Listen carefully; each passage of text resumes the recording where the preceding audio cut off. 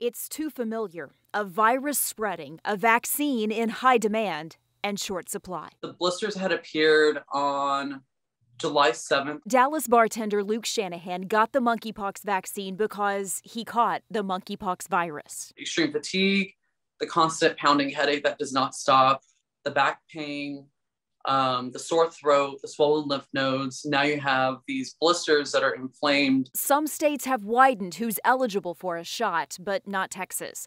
Only people exposed to a confirmed case can get one. Dallas County tracked down Shanahan through contact tracing. He'd been at a concert where other cases emerged. By the time the county called saying he could get vaccinated, the pain had already started. It's a living hell. It's the most traumatic experience I've ever had. Um, it's the worst sick I've ever been. He's better now, but still in isolation until his skin totally heals. This isn't a gay thing. This isn't a straight thing. It's it's going to affect everyone if you're not careful. Several of his friends desperately want the vaccine, but don't qualify. Shanahan wishes they did because he wishes this pain on no one. In Dallas, I'm Teresa Woodard.